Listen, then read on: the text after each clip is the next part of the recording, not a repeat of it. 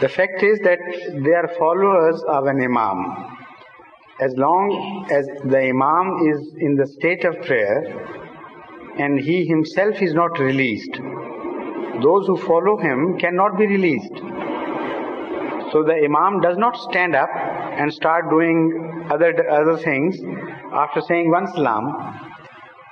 He is relieved of his responsibility after saying the second salam, not before. So the when he is free to move about, only then the people behind are free to do what they want to do.